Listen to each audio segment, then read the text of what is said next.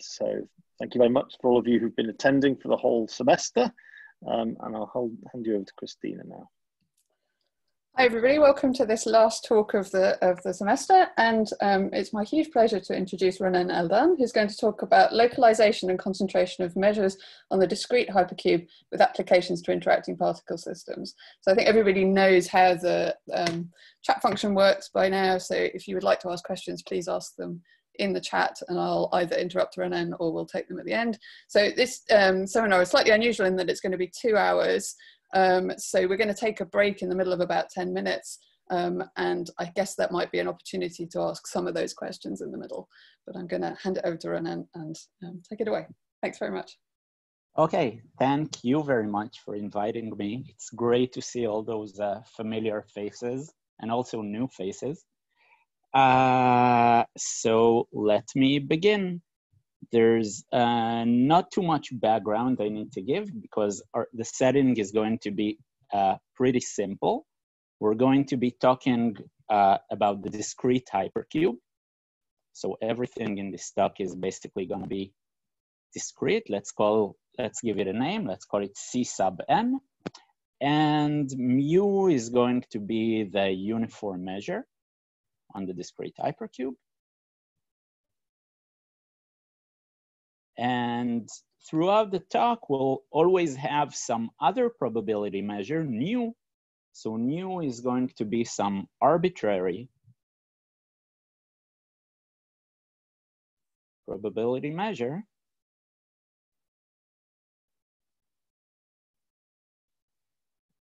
And the goal of the talk is to try to find uh, nice sufficient conditions for the measure nu to satisfy some nice properties that have to do with the first part is going to be about concentration of measure and the second part is going to be about decomposition into pure states.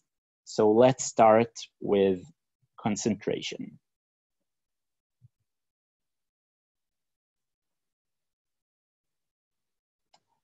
And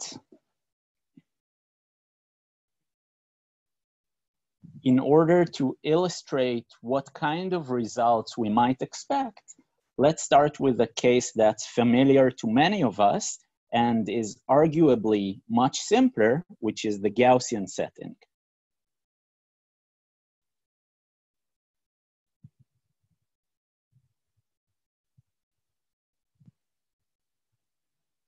So Rn equipped with the standard Gaussian measure, which we denote by gamma. And here's a fact I guess many of you already know. If I have some measure nu on Rn, which is defined by d nu is e to the some potential v d gamma, so it's absolutely continuous with respect to gamma with this density. And the Hessian of V at every point X is dominated in the positive definite sense by a mat matrix which is strictly smaller than the identity. Sorry. For all X. In this case, the measure nu satisfies some nice concentration properties. For example, for every Lipschitz function phi, we have that the variance with respect to nu of phi is at most one. This is maybe the simplest type of concentration you might expect. But then we have some stronger types of concentration. For example, we have a so-called Poincare inequality. So again, for every test function phi, we can bound the variance with respect to nu phi without the Lipschitz condition by the so-called uh, Dirichlet form which is in this case, oh, sorry, it's not one here, it's one over delta. It's one with for the Gaussian, but here if delta is zero, we can, cannot really say, say much. We have one over delta here. So here we have again this one over delta, but instead of the, the Lipschitz condition, we can write here the expectation of the gradient square of phi with respect to nu. So this is a Poincare inequality. And then we have even stronger inequalities. We have log Sobolev. And we have, uh, as a result, sub-exponential concentration for Lipschitz functions. So sub-exponential tails for one Lipschitz, sub-Gaussian, sorry. Also sub-exponential. So we have, have all sorts of, of these, you know, nice concentration properties, which are useful. They have many, many applications. And motivated by this, our main question here is going to be, well, we want to take this uh, fact and find analogous bounds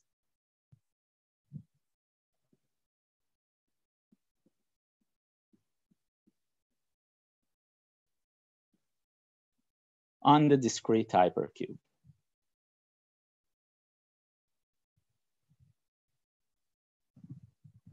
Okay? So if I want to find the theorem analogous to this, I first need to find the correct notions of several uh, of, of several of these things, such that, such as for example, what, what is a Lipschitz function on the discrete hypercube? It's not clear what's, as, what's going to be the correct Dirichlet form to consider.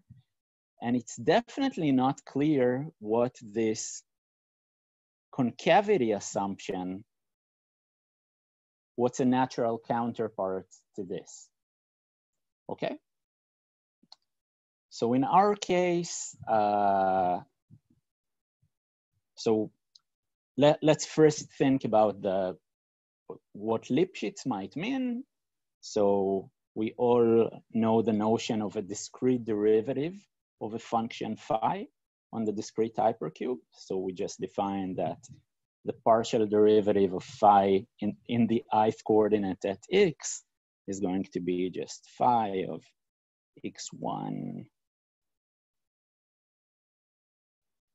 we force the ith coordinate to be one. And just look at the discrete difference with respect to the ith coordinate.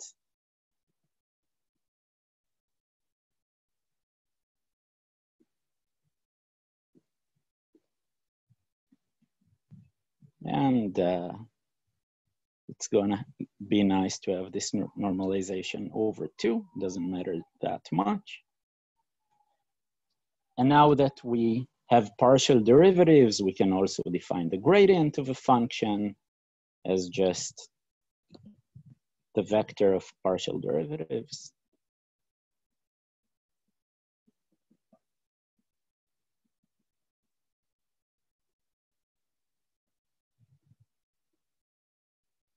And then we have a natural notion for what a Lipschitz function is. It's just going to be the usual Hamming-Lipschitz condition. So lip of phi is just going to be the maximum over both x and i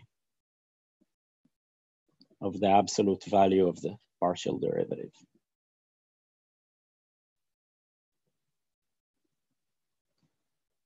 Okay. So we arguably have the correct notion for, or some notion for what Lipschitz means. This also, we, we, we have the discrete gradient, so this also gives us a notion of what this Dirichlet form on the right-hand side of the Poincare inequality is, right? But, well, I, I wanna argue that this notion written here is not as natural when we think about the discrete hypercube. So maybe let me write this as a, an exclamation.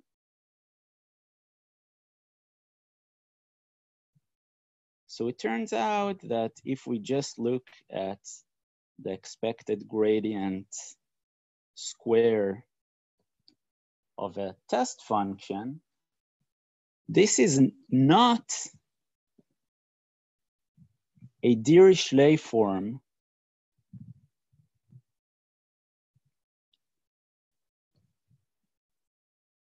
associated with any natural Markov chain.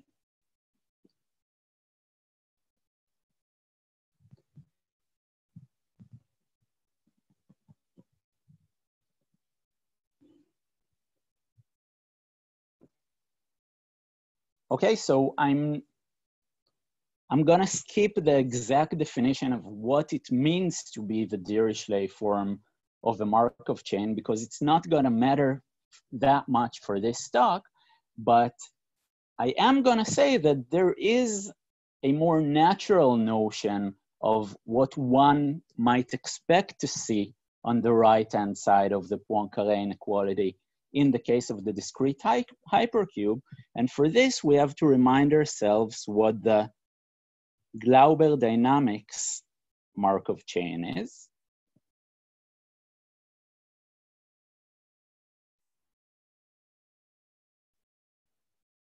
So, you know, the discrete hypercube is just, uh, we have either plus or minus one in every coordinate. For every measure on the discrete hypercube, I can think of the following dynamics.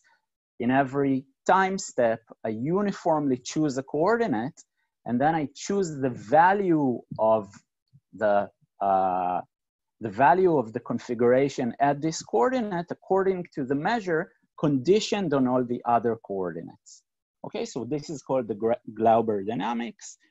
There's, so basically, this gives rise to the following uh, transition kernel. So the probability to go from a state X to a state Y, from a point X in, in Cn to a point Y in Cn is just going to be one over N times the indicator that the two points are neighbors in the discrete hypercube.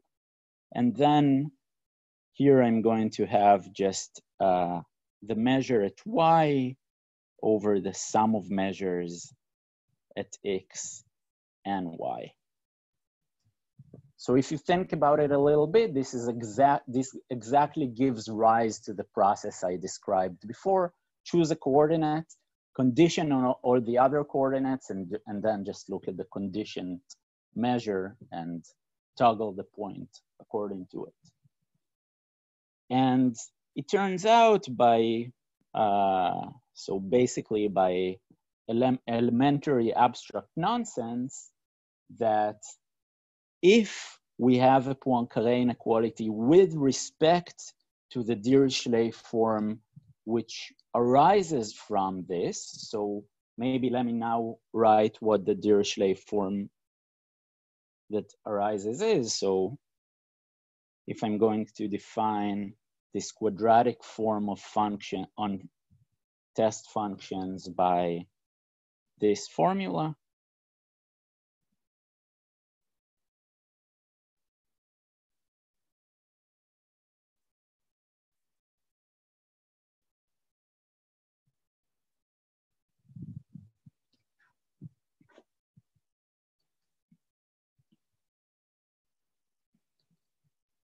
then a Poincare inequality of the form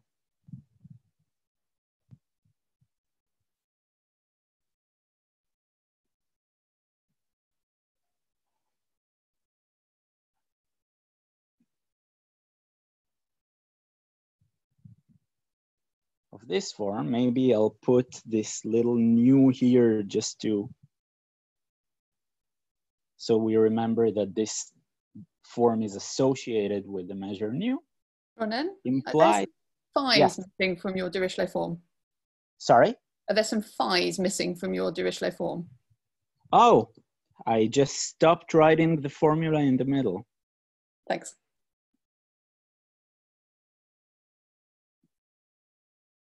Sorry about it. So yeah, I mean, the, the, if we look at the expected gradient square, it'll be almost the same thing, but instead of, we just won't have, we'll only have this nu of x here. We won't have this, these other terms. Okay, so this Poincare inequality is going to imply that the Glauber dynamics maybe let me not be precise. It's just going to imply some bounds on how, how quickly the Glauber dynamics mixes.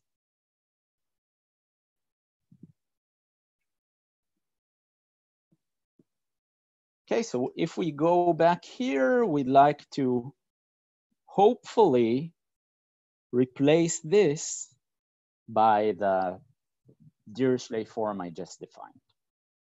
Okay?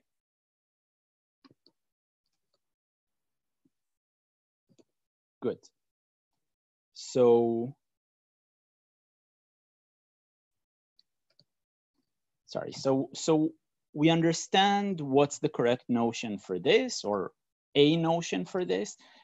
We have at least some inspiration of what the notion here should be, but we still don't know what this notion of convexity is going to be for functions on, for potentials on the discrete hypercube.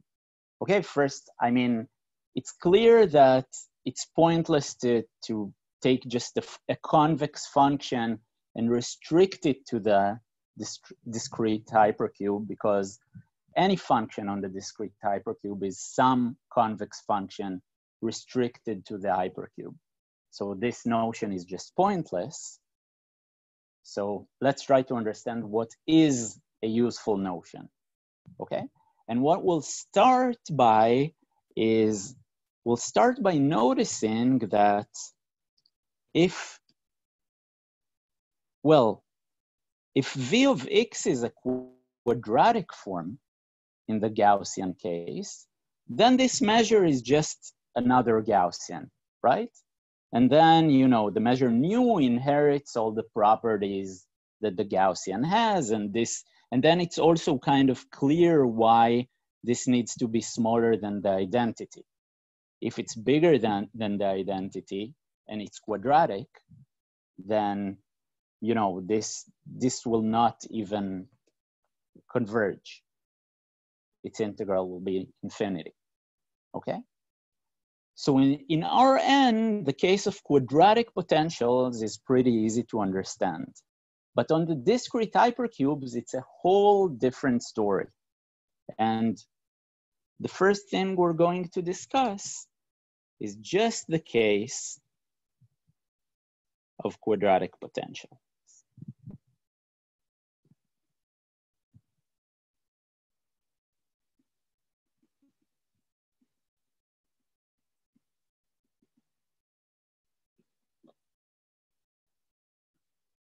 So d nu in this case is just going to be of the form e to the one half. One half doesn't matter so much. x some interaction matrix J.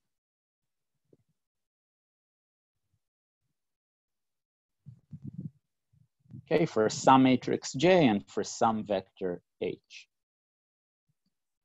So this thing has a name, it's called an Ising model.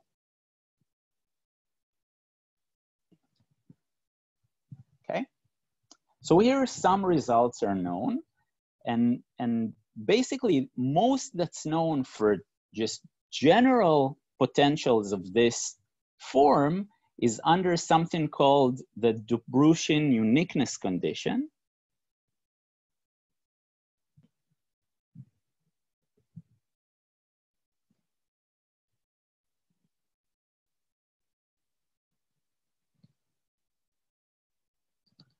So if we define, there's a natural definition of the influence on the ith coordinate of the ith coordinate on the jth coordinate, which is just the maximum over all x and y who are neighbors in the hypercube of the total variation distance between the probability of the ith coordinate with respect to nu conditioned on all the other coordinates being equal to x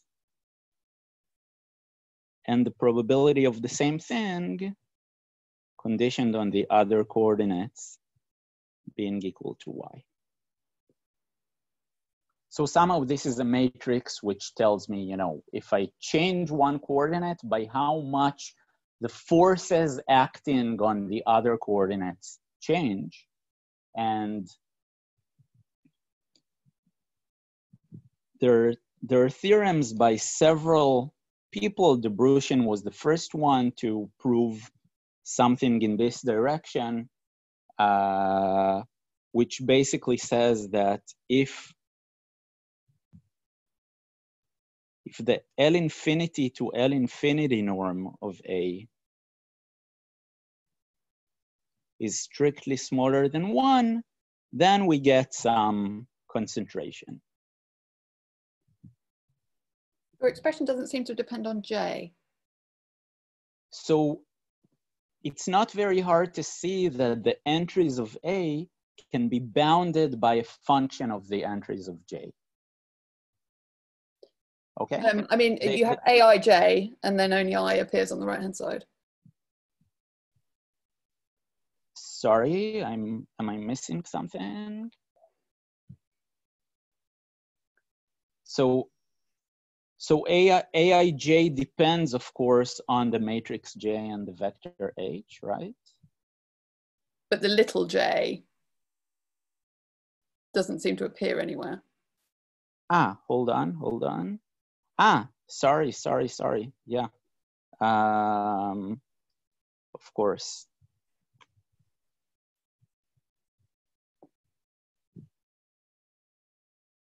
This is J. Ah, cool. Thank you. It's uh, my awful handwriting.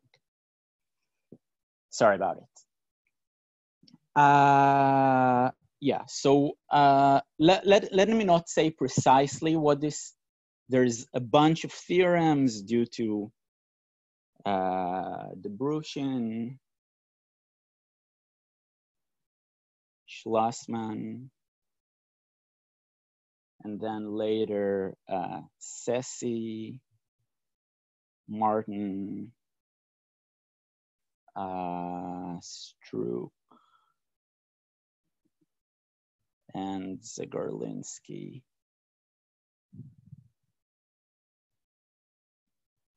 And others which the gist of all of them are basically under a condition like this, you get some nice concentration properties which also imply, for example, mixing of the Glauber dynamics.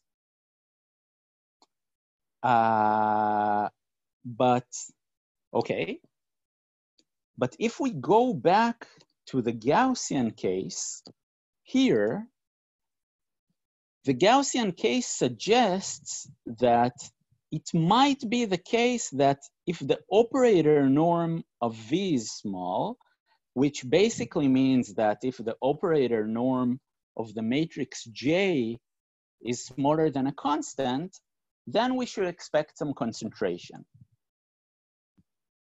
On the other hand, the Dobrushin condition is much stronger in the sense that, well, the Dobrushin condition is more or less equivalent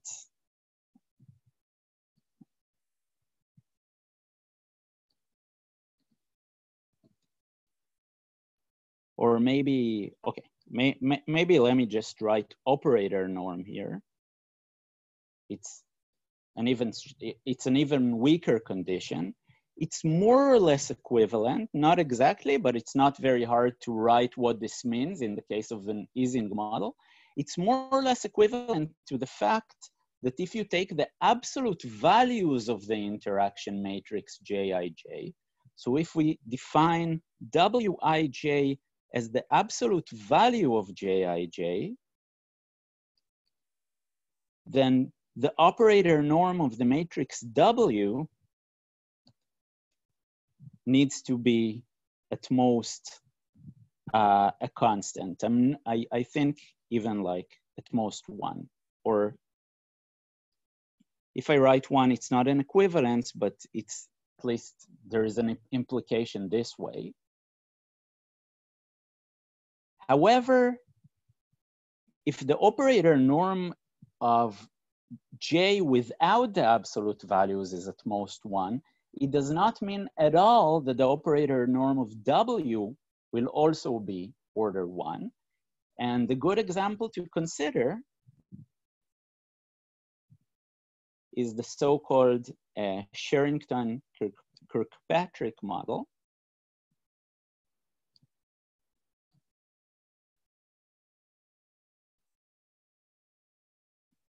In which case we take Jij to be equal to some positive constant beta times an n0 1 over n random variable, which basically says that, I mean, up to symmetry, which doesn't matter, we can always symmetrize, it basically says that this matrix is just a GOE matrix.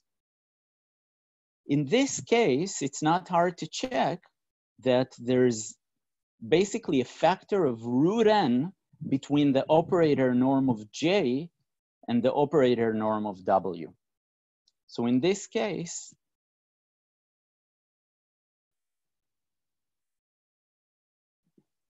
the operator norm of W is of order root n, whereas the operator norm, norm of J is of order one.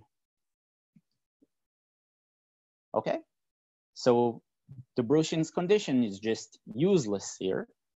And the question to ask is, is there anything we can still do?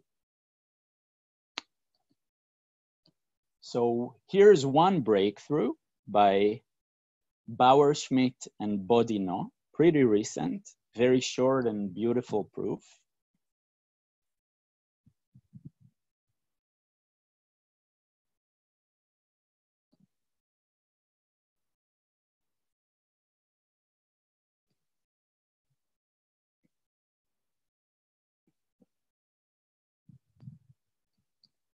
What they show is basically that if the operator norm of J is less than one, or maybe, maybe let me just write it like this. Uh, okay, we just have the following inequality. If we look at the operator norm of J 1 minus the operator norm of J, the variance of a test function is at most. And on the right-hand side, I have the Dirichlet form, but in a sense, the wrong one, just the expectation of the gradient square of phi. In fact, they prove something stronger. This is a Poincare inequality. They prove the analogous log Sobolev inequality and they do it in a more general setting but they don't want to you know burden you with entropies and stuff like that doesn't matter so much for this talk so they do prove something stronger than this but what they prove does not seem to imply anything for the Glauber dynamics, in, at least not in a straightforward way or in a way that we could uh, figure out how to do something with. So this leads, uh, leads us to a theorem together with uh, Koehler and Zeitouni.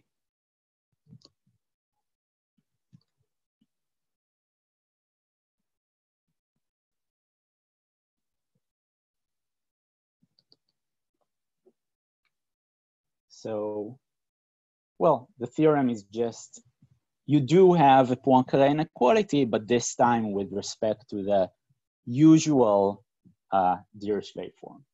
So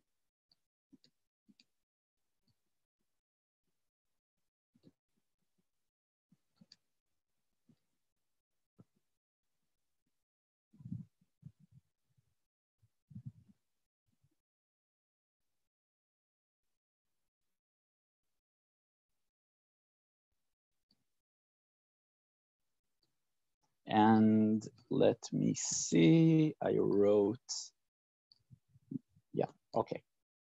Yeah, that's what we get. And this implies, for example, that the Sherrington, the Glauber dynamics mixes on the Sherrington-Kirkpatrick model in high enough temperature. So if beta is less than one over four, then uh, Glauber dynamics.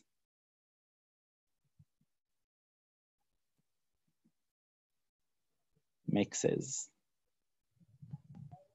on the SK model. Okay, that's that's one result. Any questions so far?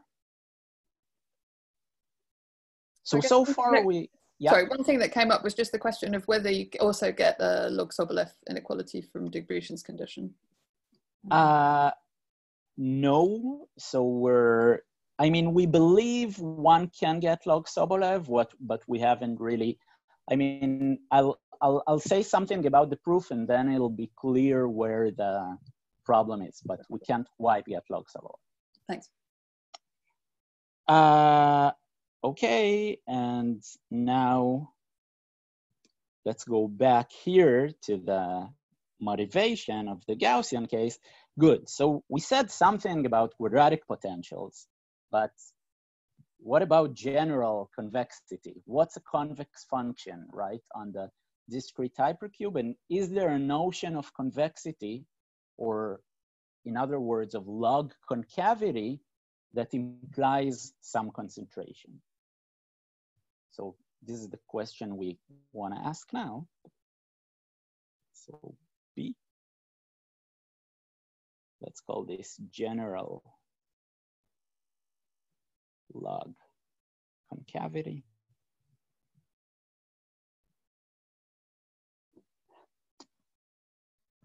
So here's one notion I'd like to suggest. And for this notion, I need to recall one definition, which is uh, the multilinear extension of a function on the discrete hypercube.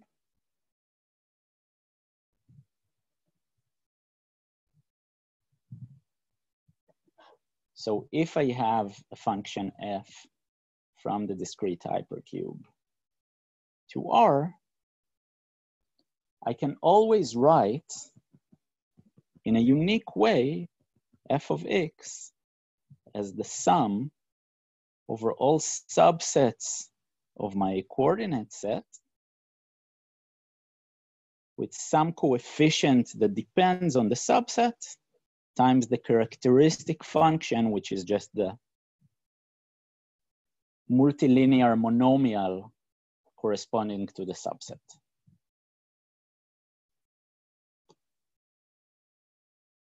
And missing, thanks. Okay. So this is called multilinear extension. It's also called sometimes uh, discrete Fourier decomposition. It's not very hard to see. This is unique. And the point of this in, in for us is that, you know, given a function that's only given to us on the on the corners of, of the discrete hypercube, it now gives us an extension into the convex hull. So, so th this gives an arguably natural extension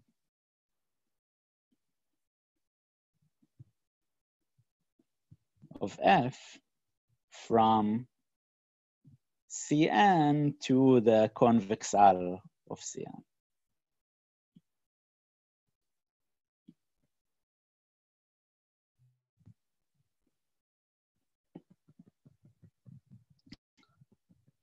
And now here's a definition.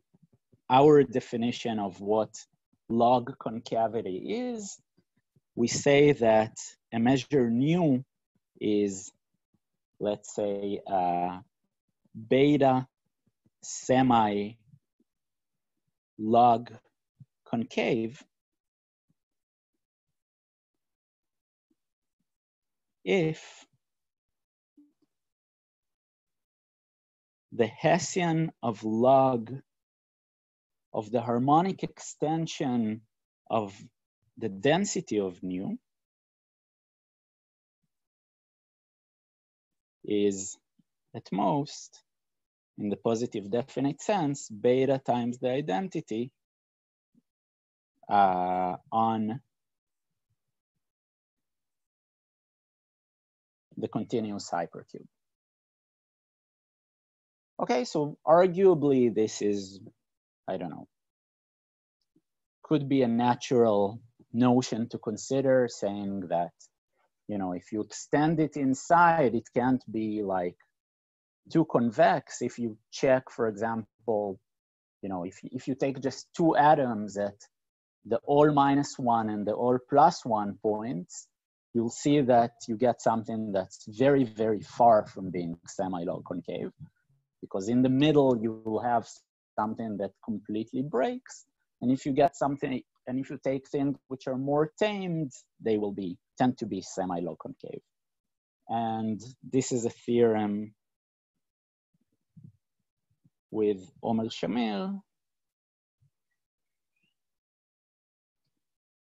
which basically gives, which basically says that semi-log concave measures admit concentration, but in the like weakest form one can imagine. The only thing we could manage to prove is the following thing. So there exists some sequence delta n converging to zero such that if nu is 1 over delta n semi-log concave.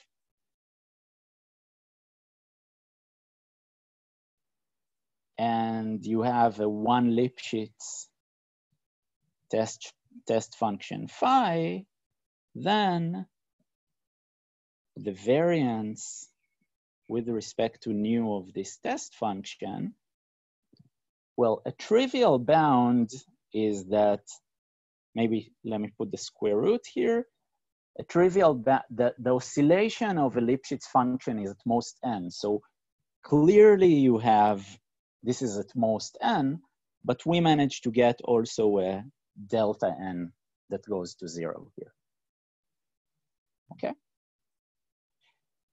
Um, we also have an application for this, but I see that I'm not doing so well on time, so I'll skip the application uh, for now, but let me just remark that there's a related notion of log concavity. So related notion due to uh, four people. So uh, Anari, Liu, Oveis Gharan.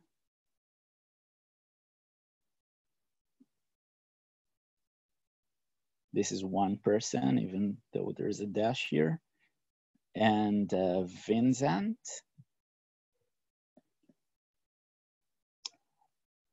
And they do something like this. They think about, so if nu is a measure on subsets of the numbers 1 to n, which is like a measure on the discrete hypercube. It's just easier to write it this way. Uh, then we define the characteristic polynomial of the measure as just the sum over subsets of the coordinates of mu of a times the product i in a xi. It looks kind of like the harmonic extension. I mean, it's it's actually not very different up to like it's it's the same up to transformations but in their notion the all one's direction has a special role. Whereas in our notion there is no direction. Everything is invariant to reflections.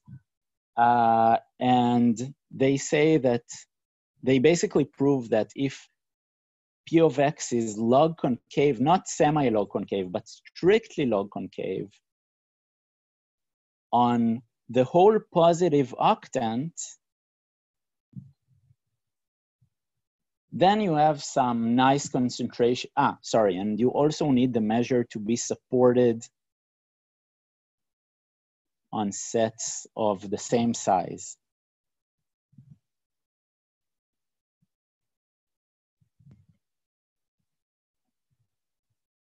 Then you have a spectral gap or a Poincare inequality with, uh,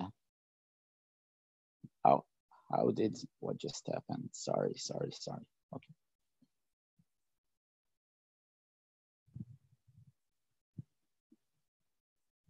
Okay. Uh, so those two are somewhat related, but somehow their notion is is much more rigid, but it also implies more. And our notion is like the, their notion is much more algebraic in a sense. Our notion is more analytic. I mean, in order for a polynomial to be log concave, it's not hard to see that it has to be basic. It, it can only, so, so this polynomial is harmonic. So, you know, it's tra- the, the Hessian is traceless, which means that if it's log concave, it means you can only have one direction in which it's convex and the, all the other directions have to be concave. And this is kind of a more uh, rigid requirement than ours. Okay. So this is uh, the second result, and this is all I have to say about the theorems uh, in about concentration. And now let me talk a little bit about so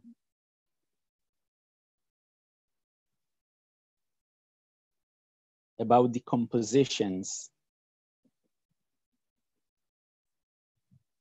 or localization.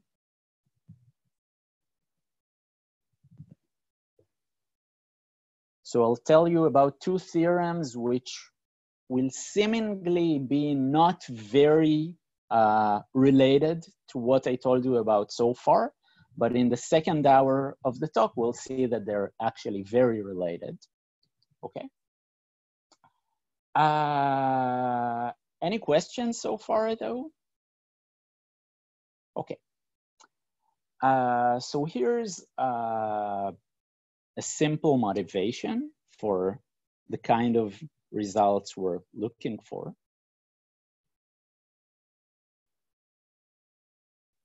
Let's consider the so-called uh, Curie-Weiss model. So d nu is just going to be e to the 1 over n sum over i and j of xi times xj d mu. And sorry, let me also put some inverse temperature beta here. Okay, so I, I just have a basically a rank one quadratic form. Okay, and, and an easy fact is the following. If beta is kind of small, this looks, this is very, a spectral gap of what operator? Ah, so uh, spectral gap here, the spectral gap is is basically a Poincare inequality with with respect to the Glauber dynamics. So the same kind of spectral gap that we had uh, above. Okay. Uh, so here is a kind of an easy, at least well-known fact. If beta is small enough, then mu is uh, high temperature in the sense that it's actually pretty close to a product measure. The correlation made, the correlation between coordinates is very small. But if, if beta is bigger than some constant, then we basically have two so-called pure states. So if beta is larger than, I don't actually remember what number, probably two or something, or maybe one, doesn't matter so much, then we can write the measure nu as a superposition or a mixture of two measures. So one half, let's call it nu plus plus one half nu minus, where the, the, the ideology is that the sum of spins makes so, so the system makes basically a global decision. It decides if the sum of spins is going to be very big or very small. But up to this decision, inside every such measure, we're going to see something that's very close to a product measure. So, so that nu plus and nu minus and intentionally, I'm being very informal here, are, I'm just going to say are close to product measures.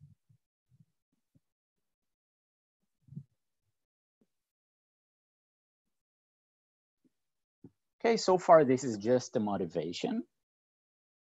And this is a motivation for us to try to find general sufficient conditions for a measure so that I can write a decomposition like that into hopefully not so many, into a mixture of hopefully not so many measures, such that each of them is in a sense localized.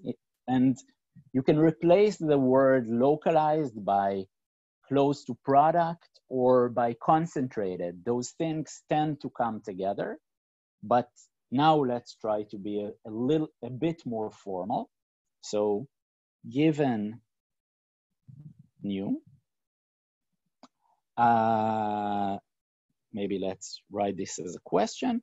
When can we write that nu is a mixture sum of positive coefficients ai times nu i, i goes between 1 and n, with n not too large. And by not too large, let's think of the, the weakest non-trivial thing possible for now. n is just, let's say, is just going to be e to the little o of little n.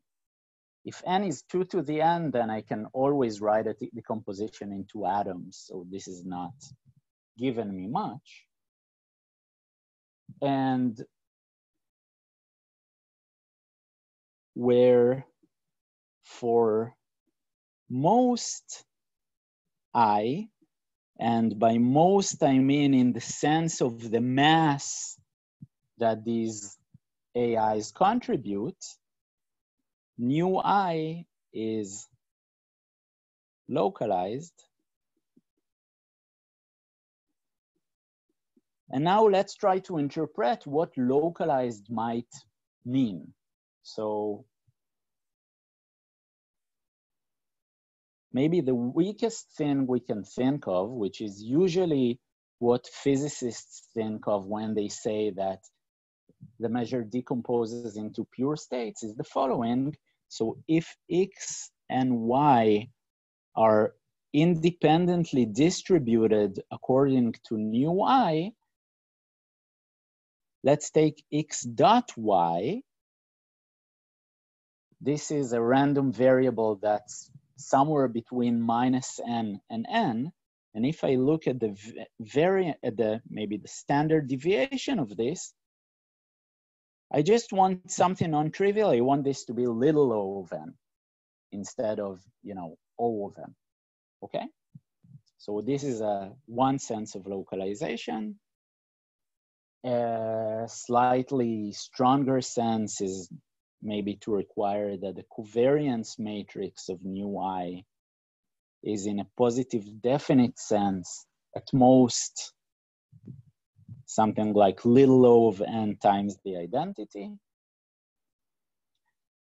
And then we we have an even stronger sense. Maybe we can re, we can try to require that nu i is close to some product measure. So maybe there exists a product measure, an actual product measure, psi, such that uh, maybe the KL divergence between nu i and psi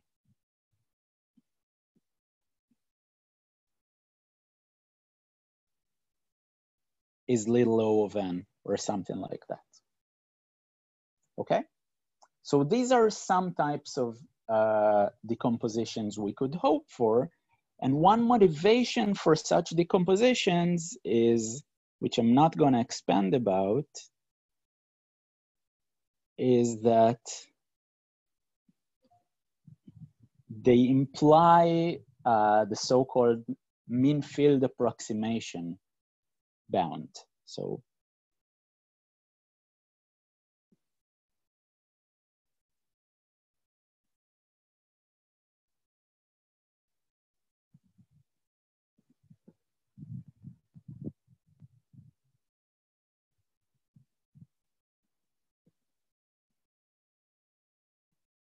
maybe just for experts. So L1 and L2 imply mean field approximation for the case of Ising models. There's a very nice argument due to Jain, Koehler, and Risteski that shows how to do that. And L3 implies mean field approximation in general. And this is an argument, I, th I think the first one is due to Chatterjee and Dembo. Okay, so now let me mention uh, just two theorems in this direction and then I think uh, it'll be a good time for a break. So the first theorem is, is the following. Uh, so this is uh, from 19. Uh, it turns out that to get a decomposition with L1 and N2 and L1 and L2, you don't need to, to require any condition on your measure. In general, you can get this. So this was known before this theorem that I'm going to write. I'm going to give credits in a second, but I think this, this theorem is probably the one of the most general results in this direction. So for every uh, probability measure nu, and every positive definite matrix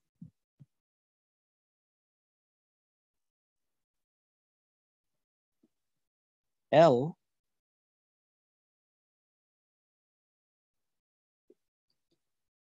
there exists a decomposition of the following form. So I can write nu as an integral. So instead of the sum here, I'm going to replace the sum by an integral. And then we're going to interpret this n being small in a slightly different way. So nu is going to be an integral of nu sub, sub theta d m of theta. So some mixture of measures uh, so that our way to interpret n being small is just to say that for most theta, the entropy of nu sub theta is close to the entropy of nu. Okay, so intuitively it kind of says that, you know, this mixture cannot contain just many, many atoms. It has to contain a small number of measures close to nu. So what we have is that the entropy of nu minus the expectation over theta of the entropy of nu sub theta is at most log of the determinant of identity plus the covariance of nu times the matrix L. We'll interpret this in a second. And the second thing is going to be, the second thing is going to say basically for most theta, the covariance matrix is kind of small. So the expectation, again, over theta distributed according to M of the covariance matrix of nu theta is dominated in the positive definite sense by this matrix L to the minus one.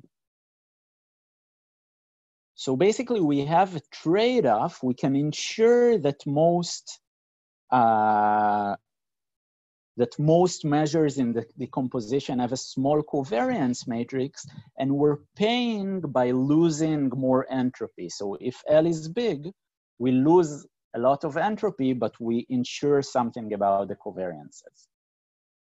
Okay? And uh, let me just mention that this generalizes. So in fact, this, this uh, theorem is true over any measure on Rn. Doesn't have to be a measure on the discrete hypercube. And it generalizes results due to Raghavendra and Tan.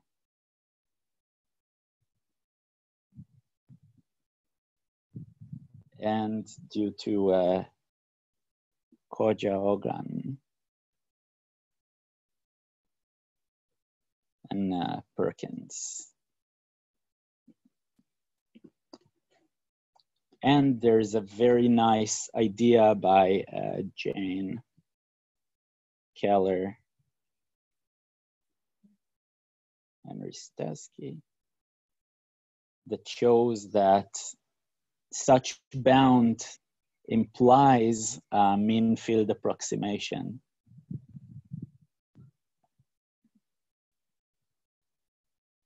for Ising models.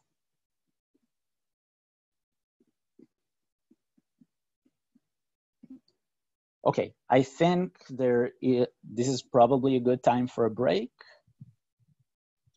Yeah, so I'm going to suggest that we break until uh, 10 past. Um, but if anybody has any questions they'd like to ask now, maybe we can um, just do that quickly. So if anybody has a question, either please raise your hand or um, type in the chat. So Jean-Christophe has a question. Maybe I'll unmute him um, if I can find him. Um, Jean-Christophe, um, you should be able to unmute yourself, I think. There you go. Oh yeah, I was just wanting to come back to Milton's question. Um, there was this first Dirichlet form you wrote, which you said is, is the wrong Dirichlet form, or it's not really a Dirichlet form. But I mean, uh -huh. isn't, it the Dirichlet form of the continuous time Glauber dynamics?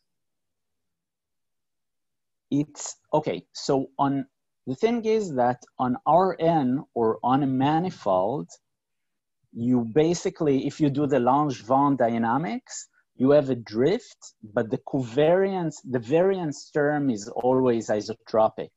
And then you always get, you know, a Dirichlet form like this. But on the discrete hypercube, it's just, I mean, there is no reason to have something isotropic. May, maybe, maybe this may be a good way to convince you that this cannot be true is for example, if nu is just supported on points where the parity ah, is, is an, even. Yeah, okay, so nu is an arbitrary measure. Okay, okay. I thought new yeah, was yeah, yeah, just yeah, product of boundary right, one half. Right, that right, was right. confusion. I'm sorry, I'm stupid. yeah, yeah, okay. That was the, yeah, of course. Sorry about that. Anybody else? In that case, um, let's break until 10 past um, and we'll pick it up again then. Thank you very much. Okay, so let's. Great.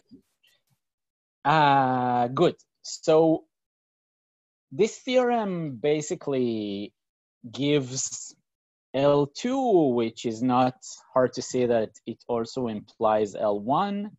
Ah, somehow I think there's, uh, this is, it's very lagging. Hold on. Can you see my laser pointer? Something is, uh, hold on, something is not working so well.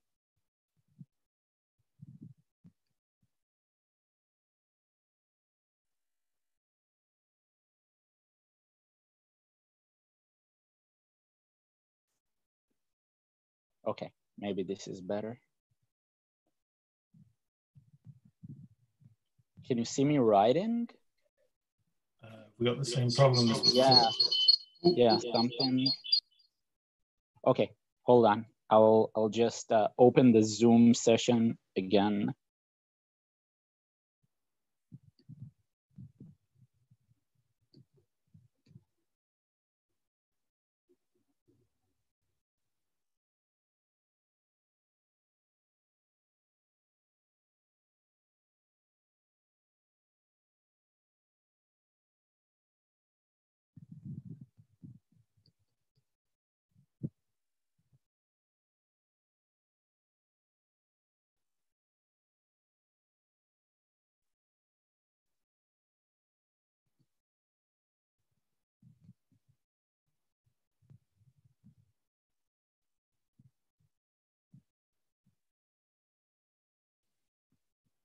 Okay, my iPad is connected. Sorry about it. No problem. Uh, I'm gonna have to rehost your. share. What's your iPad called again? Ah, yeah. So in, I need the permission again. It's in a huge list now. What's it called? Yeah, it's Ronen something. Uh, how do I know what's? Ah, yeah. It just says it's just my name. My my first and then my last. Uh, are. I see it as the very last square. When I go to the rightmost screen, I see it as the very like last Can- square on the bottom right. now? Can you share now? Let's see. No, it says only the host can share. I see Ronen already and your your co-host, so there must be another Ronen in here. Yeah, yeah, there should be two. One is my laptop and the other is uh, the iPad, which I just had to disconnect and then connect again. There it is. I've got it. It's right at the end. Yeah, you're right. Yeah, yeah, exactly. There you go. I think it knows it was an iPad. Okay, good. I can do it. Start broadcast. Let's see. Blah, blah, blah. Okay, I think it's fine now. Okay, so what we saw is basically a theorem that implies L1 and L2. And it doesn't need any condition for this, but L1 and L2 are, are kind of weak. If, for example, we think of the measure uh, can you see me writing? Ah, bummer. What's going on? Should I? Um, something weird here. Yeah, maybe I should try to.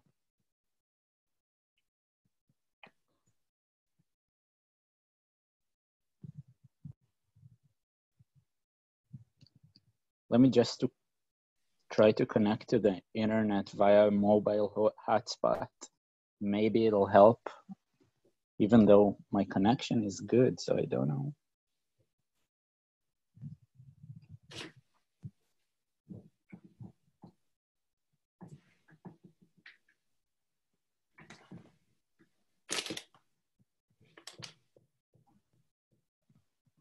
Sorry about this, everyone. Not sure what's going on.